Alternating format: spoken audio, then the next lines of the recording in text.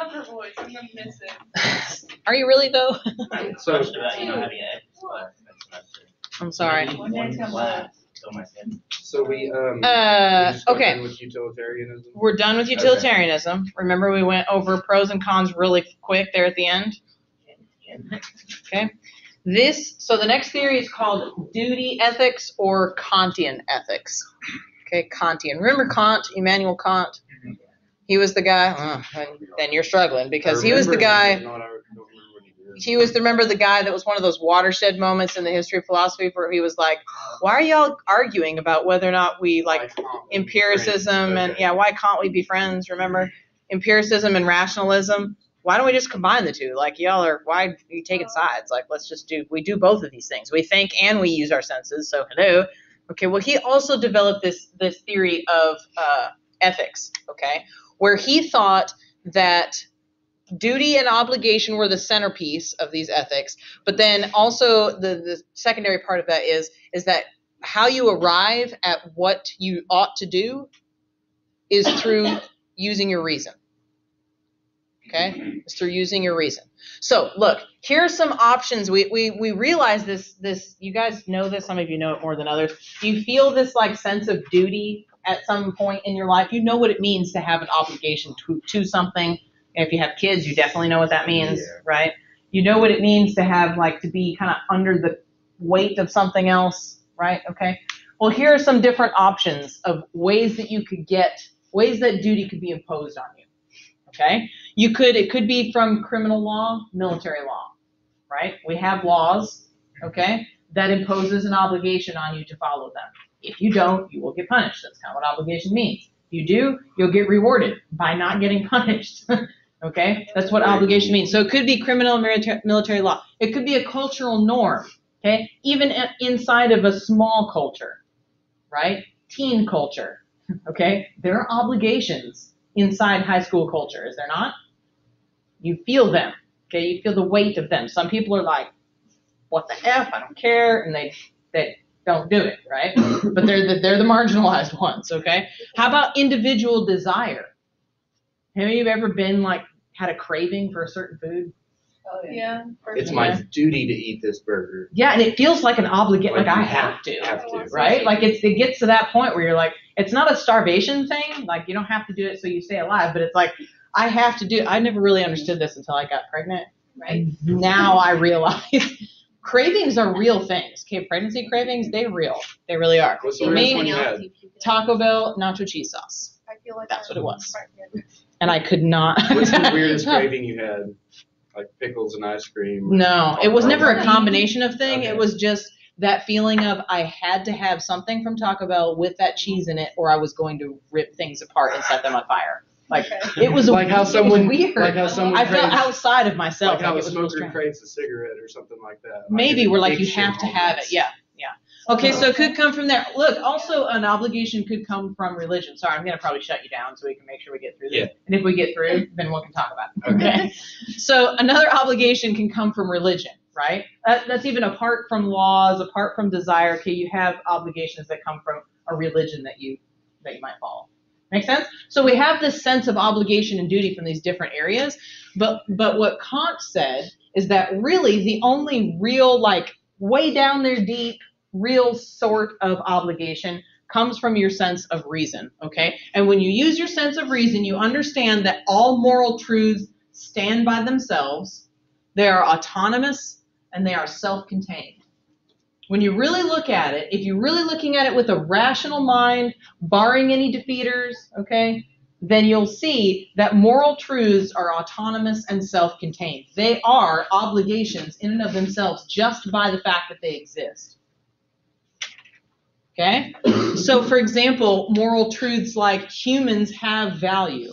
If that is a moral truth and you see that clearly, then obligation follows. Like you ought to respect human life, you ought not to take it, you ought to, you know, thrive and not just survive, those types of things, right? Obligations follow from a clear sense of what moral truths are, and you arrive at that clear sense by by via your rational capacities.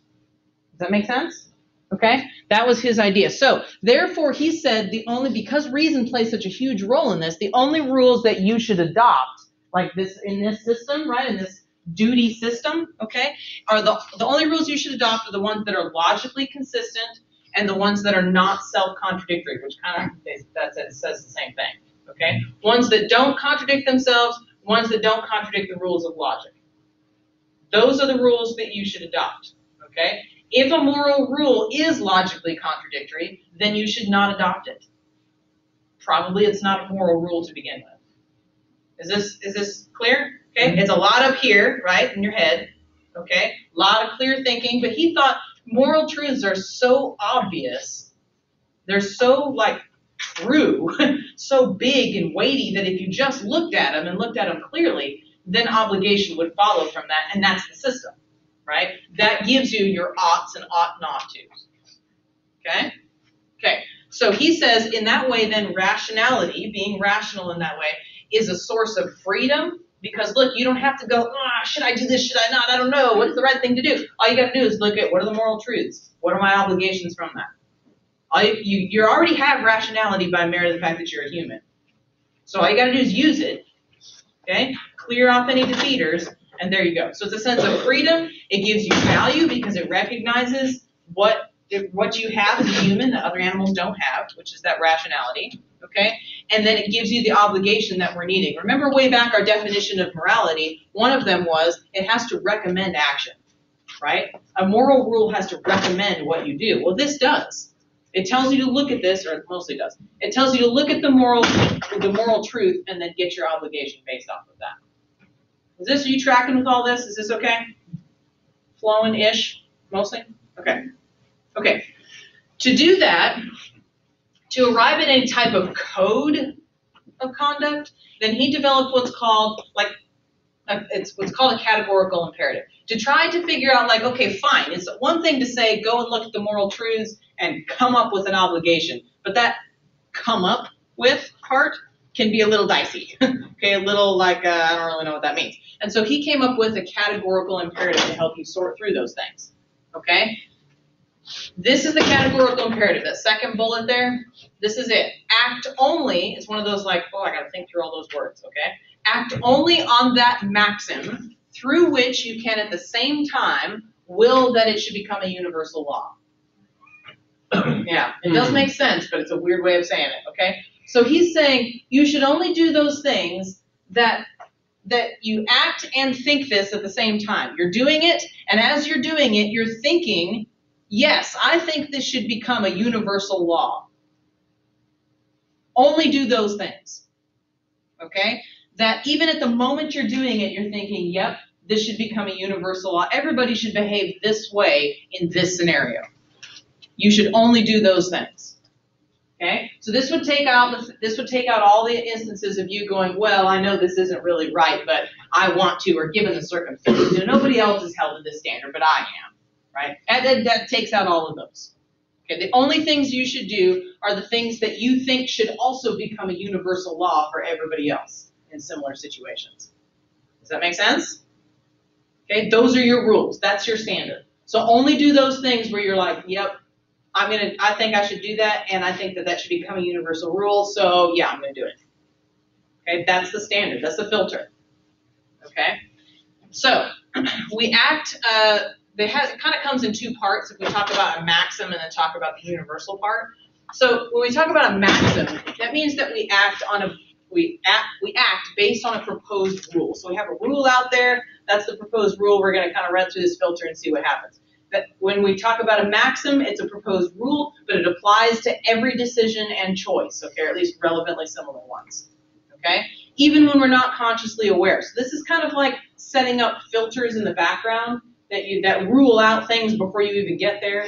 You know, it's like when you're online shopping, right? And you like apply filters, okay, to rule out different sizes or styles or whatever. Okay, it's like that. So even when you're not consciously aware of it, it's there and it guides your behavior because you've already set those filters in place in the background. Okay? Um, and then part two, the universal part, should we act on the discovered rule is the question. Okay, we've got this rule, this filter in place, should we act on it? Well, the very next question that needs to happen is, do we want everyone to abide by the same rule? If the answer is no, then don't act on it. If the answer is yes, then do act on it. Okay? Remember, the basis, the basis of all of this is rationality. There's a lot of thinking in here, right? A lot of like deciding yes, no, okay, well, yes means this, no means this. Very rational, okay? Very kind of cut and dry type thing. Okay? Okay, some positive positive points about this theory. The concept of duty anchors morality in this theory. That seems to be a good thing because if, if morality is anchored only by something like desire, let's say, that becomes real sketchy real quick, right? Because people's desires are different and some people's desires are sketchy. And some people's desires only serve them and not anybody else, right? Like your favorite flavor of ice cream or something. Okay? So morality should be tied to something we ought to do whether we want to that particular day or not. Okay? It should be something that doesn't depend on our desire, but rather on our obligation as a human. So I think that's a positive point. I think it gets at that and tries to kind of take a hold of that and make that a central part of the theory, and I think that's valuable. Also, it establishes a definition of right and wrong that's not open to interpretation. Okay? If it's a rule that you think everybody should act on, then you should do it. Now, some people will say, well, it's still interpretation because what if one person says, yes, everybody should act on this, and another person says, no, not everybody should act on this, right? Then it's still open to interpretation, but we're talking like big things here. We're not talking about little nitpicky situations, okay? We're talking about should I murder this person or not, okay? Big, big scenarios. Quit freaking me out. And it does seem to coincide a little bit with intuition. It does kind of jive with our seems, the way the world seems to us. Okay? It seems that there is this nature of morality that makes us do stuff even when we don't want to. Okay? It seems like that's part of it because some days we do like I want to be a good person, and some days we don't want to be a good person. We don't really care.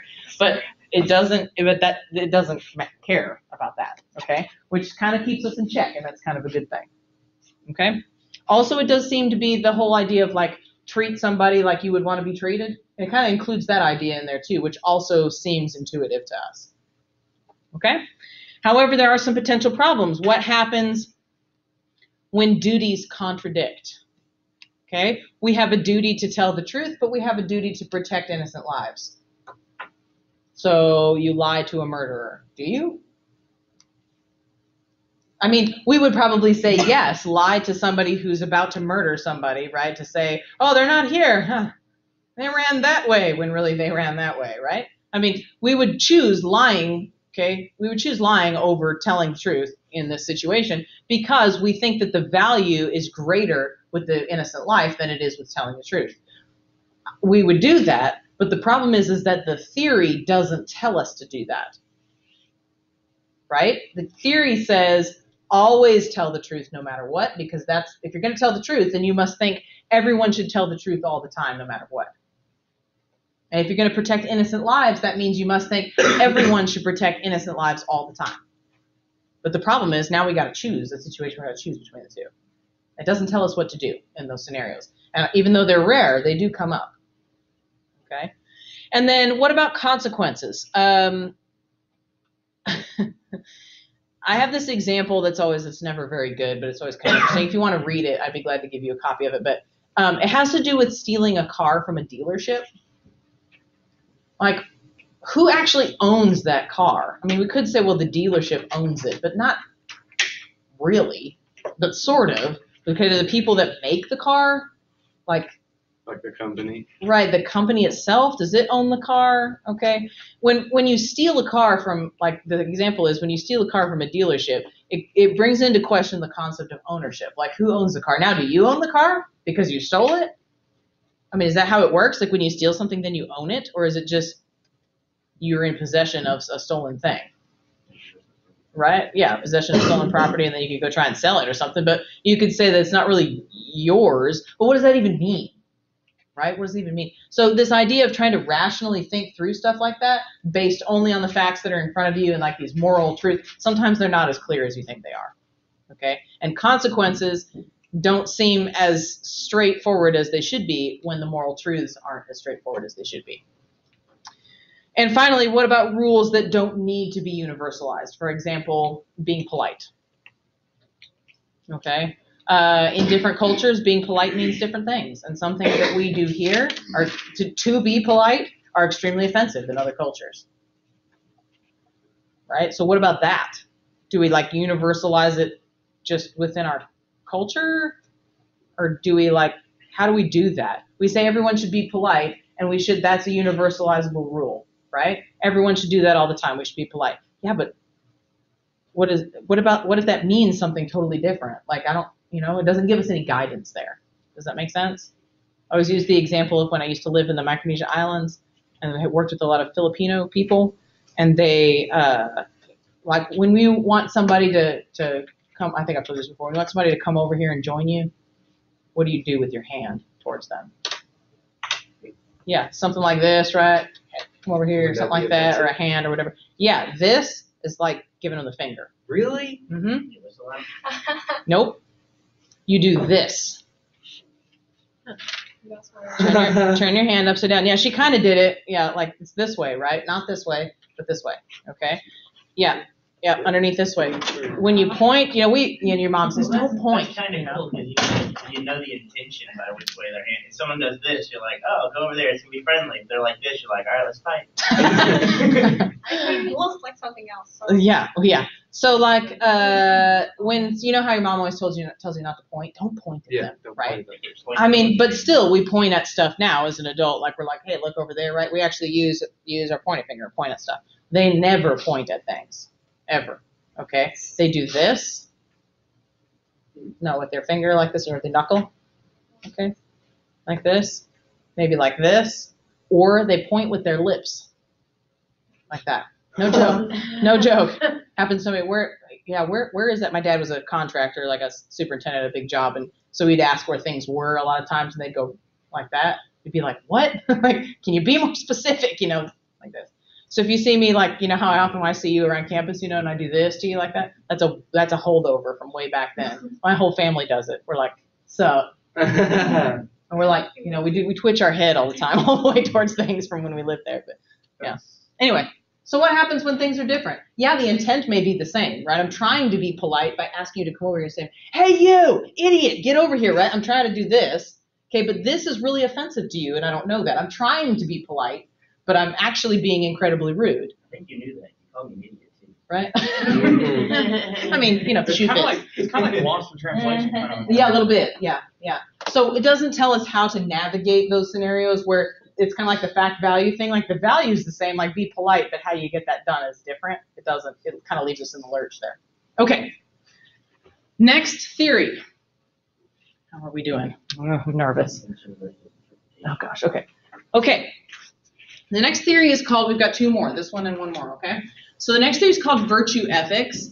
This one is interesting because it focuses less on doing the right thing and more on being the right kind of person.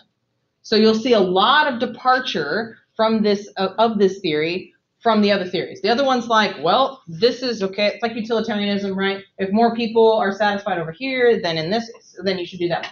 Or if the rule can be universalized to everybody, then you should do that. Right? A lot of it seems like a lot of sort of sorting out and like, okay, there you go, almost like a math problem, right? This is not like that at all.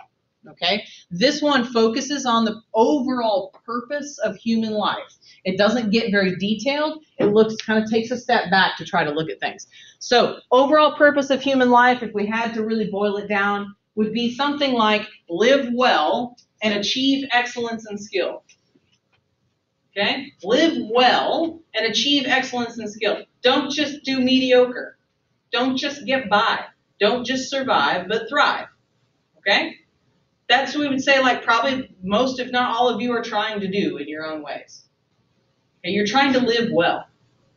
Okay? You're trying to achieve some sort of, I don't know about excellence, which I'm trying to get you to do, but skill at least, right? You're trying to go to school so that you can get a better job or do whatever, right? Trying to obtain something.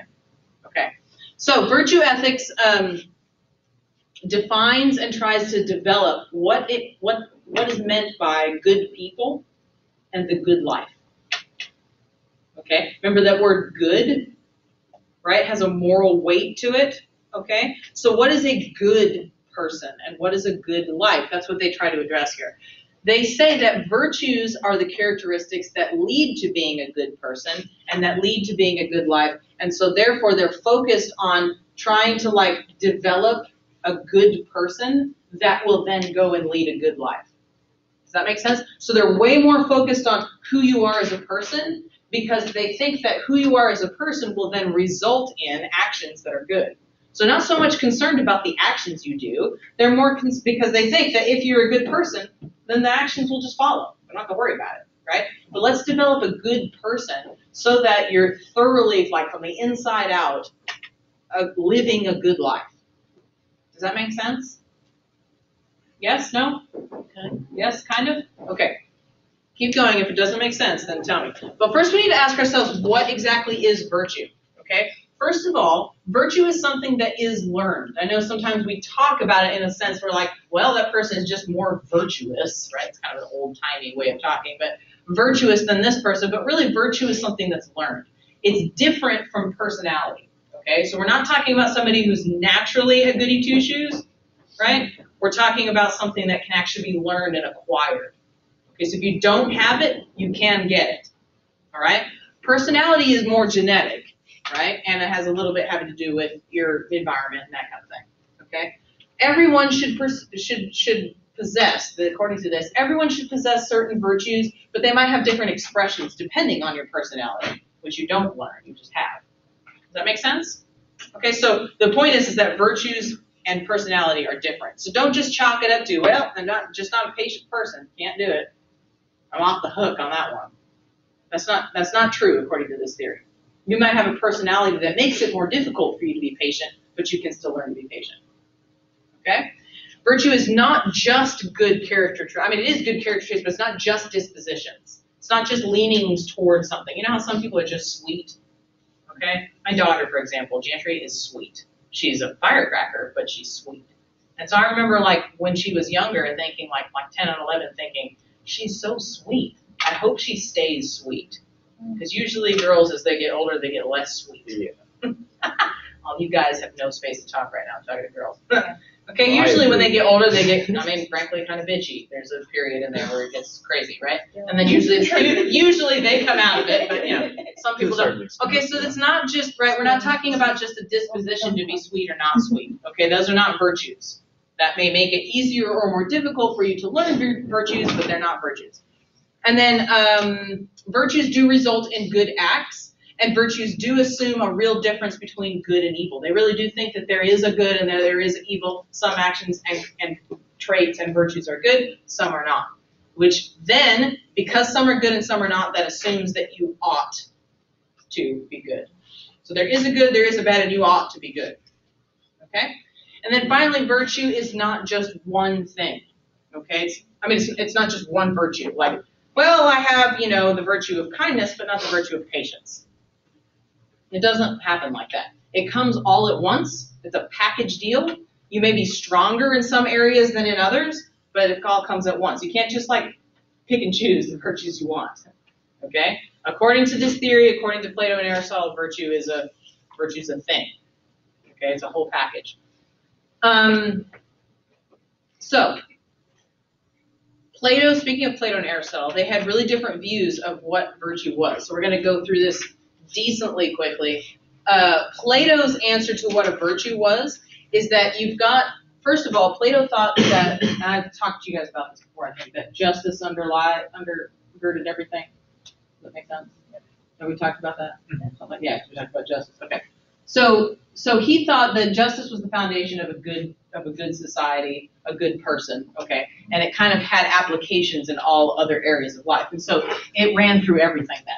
So then the other like major uh, virtues he thought tied to directly to parts of yourself. So for example, in yourself, okay, as part of your person, you have physical appetites.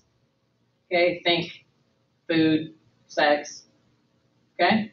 You also have uh, your spirit, which is like your life inside of you. Okay, what makes you alive. Okay, this might be like your um, your volition, your will, right? Your get up and go. Okay, that thing that says, yes, I'm going to do that. Does that make sense? And then you also have your reason. Okay? The reason there's the rationality part that goes, yeah, I don't know if that's a good idea, but should I eat now? I don't really know. Okay? That's that's your reason part. So he thought that virtues had to match, or they did, they just naturally did, kind of match parts of yourself. So this virtue of temperance went hand in hand with your appetite and evened out your appetite, kept your appetite in check. You know what temperance is? Yeah, it's a, I looked it up. Well, It's like self-control. Yeah. yeah, Yeah, kind of like not letting anything go too crazy either way. Okay, use the example of tempering things in cooking when you're wanting to slowly raise the temperature of something when you're cooking stuff. Yeah, like the eggnog stuff, right? I make homemade egg, eggnog sometimes during the holidays, and I have to use egg yolks that have to be heated. But when you heat eggs, what happens? They cook. Yeah, so I don't want cooked eggs. That's gross in my eggnog, right? But I do have to heat it so I can cook them so they're not raw. Does that make sense? Yeah. So I want to cook them without scrambling them. So I heat cream and dribble, dribble, dribble the cream into the egg yolks slowly. So I slowly raise the temperature of the egg yolks. And then once they're warm, then I can combine them with the rest of the cream and they won't cook. Does that make sense? That's called tempering. Tempering your eggs. Okay, so you slowly bring the temperature up. That's the same thing here. Temperature or tempering, okay, temperance, same deal. Let's even it out. Let's make things be a little more less crazy. Okay? Same thing here. Look, your spirit, your get up and go, your like actual will, your volition, right? Sometimes, uh, probably when left to its own devices, most of us would not be as out there as we ought to. More comfortable, more easy to sit and binge on Netflix. Okay? But courage is the thing that says, no, by golly, I'm going to do it. I'm going to do it. Okay? Courage is that thing that says when this when this is attacked, that stands up for yourself. Where you go, no, that's not right. That is unjust. Okay? And then the virtue of wisdom is the thing that informs your reason. Some of you have this, and some of you need to become stronger in this area. Okay? This is the thing that says when you're like, oh, I don't know what to do. I don't know what the I don't know what the right thing to do is. Wisdom steps in and helps you determine what the right decision is. Then courage helps you do it. Temperance keeps everything in check.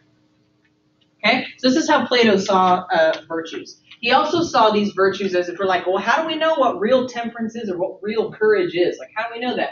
Well, he related that to his idea of the forms. He thought, remember the forms? Mm-hmm. Non-physical realities that are out there somewhere, okay? He thought that there really was a real temperance that's out there somewhere. There is a real, the wisdom is out there, and the courage is out there somewhere. And the closer that we got to mimicking that, the better off we were. Okay, so that's how we know what real temperance is, is if it looks like the real temperance, which is out there as a form. Okay? And the way that you actually uh, get better at being, develop your virtue is purely by acts. Okay? For him, it was a balancing act. So if you wanted to get better at being temp- temperate with yourself, if your appetite was getting out of control in one area or more, then you just needed to perform more acts that were on this side rather than on your appetite side, and the scale would tilt towards you being a temperate person rather than you being guided only by your appetite. Okay? This frame is pretty simple, right? Just do more stuff over here and you'll become that kind of person. Okay? For Aristotle, it was different. Okay? Aristotle didn't think of it as a balancing act. He thought of it as a sweet spot. Okay? Not a balancing act, but a sweet spot, a middle ground. Okay? He thought it was a middle ground. It's a means between two vices. Virtue is that sweet spot between too much or too little. Okay? So here's an example, right? Too, too little would be a defect, right? Too much would be an excess. Has your mom ever told you too much of a good thing is not a good thing? Right? Okay, same, same idea. Too much of a good thing is no, is no good. So think about this one, like I usually use the, the uh, well, we'll go ahead and use the remorse one, okay? So he would think that remorse would fit right here in the center. Okay? Remorse, feeling bad about something, okay? If you did not, if you had if you had too little of that, then you would be indifferent. Who cares? Who gives a rip? Okay? That's not always a good way to go. Rarely is it a good way to go. Okay, if you had too much of it though, you'd be like overridden with guilt that was totally unnecessary. Right? What if it was not your fault at all? What if you're just, oh, woe is me, I'm a worm, I'm such a terrible person, right? We know these people that just feel guilty all the time, and it's crippling, okay, and annoying, right? So that's too much. What you want is that sweet spot in the middle, okay, remorse, a healthy dose of remorse. There can also be a healthy dose of pride, right? If you're not, if you have a defect, okay, then you never recognize your own abilities. You never give yourself credit for anything, right? Which which is not healthy. Okay? You're like, ah, well, you know, I guess that's what this wasn't good enough. Like your teacher's like, yeah, that's awesome, and you're like, ah, it wasn't my best work, right? You're always critical of yourself. Okay? You know, you don't. You're over here in the defect. You have no pride in your own in your own accomplishments. Okay? So that's a false humility over here. However, if you have too much, you're vain. Okay? Which is also annoying. Very annoying.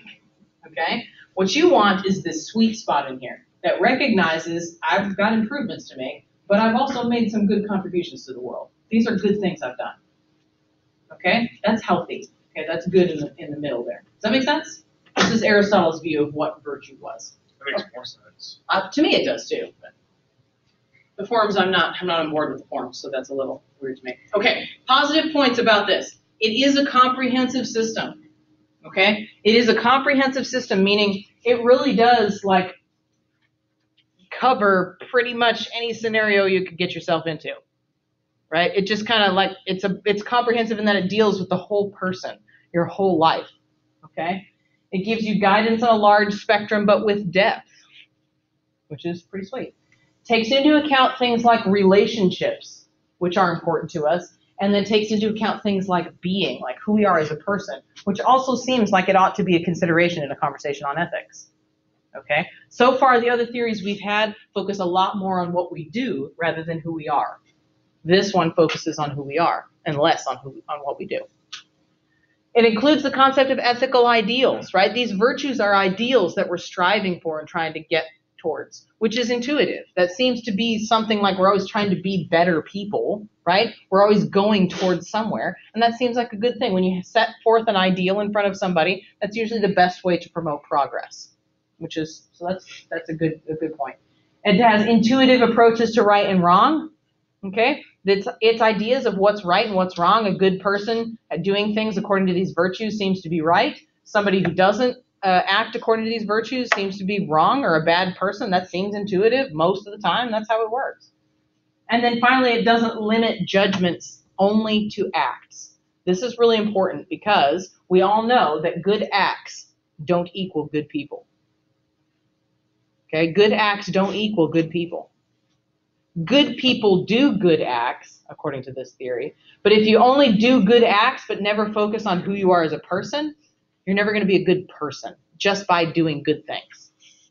I'm sure you all know some really terribly selfish and blind blind people, as far as not really blind, but like their their worldview, right? That like volunteer all the time or donate to charities and stuff like that. Okay? They're not those are good acts, but they don't make a good person. It's a one-way street. It doesn't work the other way. Okay? Okay. So potential problems with virtue ethics though. Does it help us really know what to do though? if you're in a scenario and you're like, I'm a virtue ethicist, right? What do you do? Basically what it can help you with is you should be a good person. But that doesn't always help a lot. Okay? So it, that's a problem. That's not very specific. Can virtues be used badly? I think that's possible which is a, which is frightening. Okay? Doesn't answer the question, why should we be virtuous? Why are we even talking about this? Why is it the case that we have this ought attached to being virtuous? Why is that? And then finally, how do we handle conflicting virtues, such as um, honesty and kindness? Okay, if your if your girlfriend comes to you and says, "Does this dress make me look fat?" Did like Lincoln. Honest Abe. I mean, you have an obligation to exercise the virtue of kindness and the virtue of honesty. But in this scenario, they conflict. And somebody could say, well, it's ultimately kind to tell her the truth. Yeah, try it and then tell me what you think. could just say, it's not, it's not. the But if you were to be genes, kind, fat. Well, if you if were, you, if you were to be kind, then you'd have to not tell her the truth. like, if, uh, like the whole deal with the lying to a murderer, Yeah, unless Kaylee can come up with a loophole for it. What? if you lie to her, it's protecting your own life, but if you tell the truth, it could, you know, it's the right thing to do, but The correct answer is, I just don't think it's for you. Yeah. Being kind of. It doesn't make you look fat, it Tell her just doesn't make you look good. Would you rather date a liar Yeah, who's gonna spare your feelings or someone who's honest with you? It depends. When it comes to clothes, I, I'd rather you spare my feelings. No, I'm you, not gonna lie. No matter what. say you wanna pick and choose when your spouse is being a liar and. Sure. truthful. Somebody normally lies about stuff like that, but tells the truth with other more important things. I'll take that hands down any day. Okay, natural, last one. Last one. Natural law ethics. Okay, this one is kind of like, it has a lot of words, but don't be fooled. It's pretty straightforward, okay? Morality, it, this claim is morality is universal. Remember, we're in the, in the section where we have universal theories, okay? Morality is universal and it's grounded in, ra- in our rational nature. Kind of like the duty ethics, right? But it goes a little deeper than that, okay? So these laws, these moral, moral laws are unchanging, eternal. In other words, they've always been there and they always will be. They're universally knowable. Get that. They're universally knowable. That doesn't mean that everyone does know them. It just means that they're able to be known by anybody, anywhere, all the time. Okay? And because that's the case, they are also binding for anybody, everywhere, all the time. Okay? These laws exist based on the teleology of humans in the universe. That means the way that humans are, the way that we're made, okay, the way that we are, and the way that the universe is, and our relationship in the universe, that's where these rules come from. Because of the kinds of things that we are, and because of the kind of thing that the universe is, this is where these rules come from. This is where these obligations come from. Okay? It is grounded in the idea that common rational human nature shares common goals. So if we are all humans, and I'm pretty sure we mostly are in this room, okay, we all have the same rational nature that that helps identify us as humans, okay? We're all on the same playing field that way. Okay, we're all on the same level. And because of that, there's these common goals that we all have. Now they may be basic, right? But it, we, we all have them. Okay? Um, Aristotle, for example, thought that this common goal was happiness, right? That happiness is the only thing that we do for the sake of itself. He actually thought that you do that through four ways procreation. Some of you are like, mm hmm, that's right. Life, like doing life well, okay, living a good life. Knowledge, and this is where most of you bail. You're like, no, knowledge is not happiness. knowledge, and then society, living in a just and well functioning society. Okay? Uh, and Aquinas thought that the common goal was do good, avoid evil. Like I said, they're basic, right? Do good, avoid evil. So he, they thought that. I mean, the theory says that we have common goals. This is what these two people thought those common goals were. That every human, because of the fact that they're human, and the way that they're constructed and the way that they think, this is what their common goals are. Okay, does that make sense? Common goals. Okay. Natural law is general, kind of like virtue ethics is general, right? So you use that as your background and then derive rules from that. Okay, so you recognize if you're going to be a natural law theorist, you recognize that humans are all the same in that in this way. Okay, you recognize that there is because we're all the same, because the universe is the way it is, and because we have a relationship in the universe, then there are certain things that are going to be binding for all of us. Okay? And the way that we uh, come about those rules, get, get to those rules, is through our use of reason. So that kind of goes back to the Kantian ethics. Does this make sense? There is a standard. Everybody can know it. Not everybody does, but everybody can know it. And it's binding for everybody. Good? Positive points. It is very intuitive.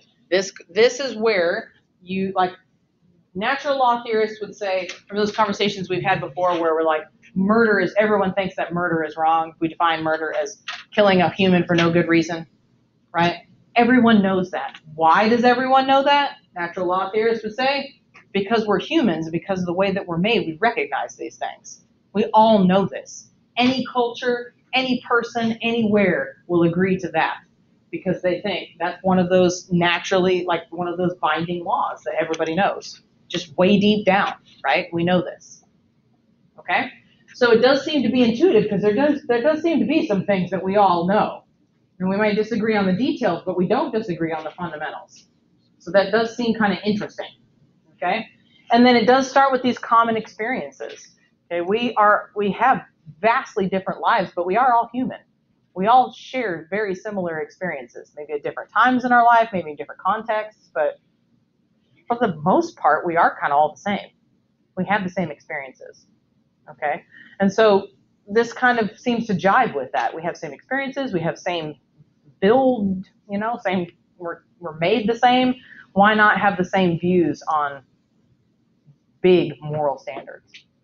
Um, and then it does establish a universal, which I think is really helpful for moral for morality. It does it's not relative. It's a universal, it's an absolute. Okay, potential problems. This one does tend to sometimes commit the naturalistic fallacy, where it says the natural where the fallacy would be is look, just because humans are this way doesn't mean we ought to behave this way. Okay, that's a naturalistic fallacy, and then the natural law theory gets awfully close to committing that sometimes. Where it just says, look around you, this is the way humans are. Therefore, we ought to think this way. We ought to shape our morals around this. But you can't always get an is from an ought, or an ought from an is. Yeah. You can't you can't do that. It's a natural. It's called a naturalistic fallacy. And then finally, I mean, I don't know if you all agree with Aristotle and Aquinas's goals. I I mean, maybe should we go back to him? Yeah, happiness through procreation, life, knowledge, and society. Aquinas, do good and avoid evil. I mean, okay, like I could be on board with that. I feel like I have, you know, like you, probably not thinking I had a chance to think about it, but it seems like there might be more than that, or maybe less, or maybe different, right? I mean, the, the point is, is that do we really agree on our goals? We could probably agree that we have the same experiences. We could probably agree that we're generally the same as far as how we're made, but like, do we really have the same goals? Really?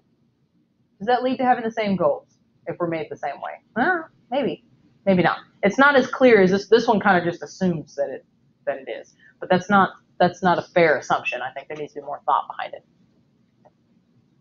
Questions about this one? Yay! Give yourselves a hand. That was awesome. Good work. Excellent work. Yay me! Yay me!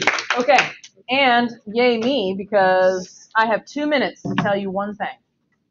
Okay, so this is the whole like I struggle with this every year because we go through this class and it's like a really big class and you're confronted at some points with some super boring ideas and some super complicated ones and some super important ones. Okay, so it's really hard to figure out how to how to end the class. You know what I mean? Because it's like, well, okay, well, thanks for being with me for 16 weeks. Like, it just seems weird to me more than other classes because we talk about important things in here. And honestly, and I'll, I mean, not to be like cheesy or whatever, but I, like, I remember all of my students. Like, I really do. Like, your faces are in my memory and I will think about you. And like, I, I really will. Like, I really do have a, have a care for you in my heart. I really do. I have more than one care, multiple cares. Okay? So I really do, I really am concerned about your, like, concern for your well-being. I hope you do well. I hope you succeed in life, like truly. Uh, if I could like talk to you each face to face, I would tell you that honestly. I really do sincerely want that for you. Um, maybe more than that, though. I want you to be the type of people that think about what you think. Okay, not about what I think. Hopefully, I've done a pretty good job leaving out what I think and just giving you some information. But think about what you think about these things. Okay. Now, after this class is done, you have a choice of whether or not to continue thinking about these things or not to, right? Before in the semester, you were kind of forced to every Monday, Wednesday, and Friday, even if you forgot on Tuesdays and Thursdays and the weekends, right? But now that choice is up to you. Okay. Now that choice is up to you, and now you kind of know what it's like to know some things. Okay. There's this quote that I there's this quote that I like that says, "The mind, once expanded to encompass new ideas, never returns to its original dimensions.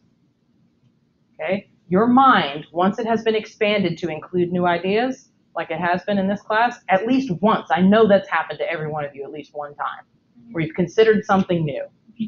It will never return to its original dimensions. So I'm going to warn you that that may cause problems with your family, your friends, right? People that don't know what you now know about life and how to think about it. Okay? But don't let don't let that squelch you. Teach them by example how to think about things that are important. But most important, please have reasons for what you think about things. Even if people disagree with your reasons, have good reasons, solid evidence for what you be the type of people that can have solid reasons and, and life won't shake you as much. Because you're like, this is what I think. At the same time, be open to learning new things. If you find something with better reasons, go towards that. Okay, be, be thinking, contributing, thriving, like living people, the fullest version of you that you can be. You do that a lot by understanding what it is that you think and understanding why it is that you think it. Okay, and I'm going to say this one one more time. I really do care for you, really a lot. Like I get, like I can feel it right here in my throat. I really do a lot. I get really emotional about it. Okay, but I'm also right down here, my office. If you ever need me for anything, a question about philosophy, a question about life, you need a place to hide, you need a paper proofed, right? I mean, I don't, whatever. Okay? please, please know that I will be more—I'll be tickled if you came in and asked me. I would be more than happy to help you. Even after you transfer to another school, send me an email, right? I'll be there. Okay? You guys good? Okay. Thank, thank you for a good semester. Thank you very much. Thank you. All right. I'll see you on Wednesday, right? Yes, I will post your study guide on Blackboard. Just a quick refresher, what time is the final? 10:30. Another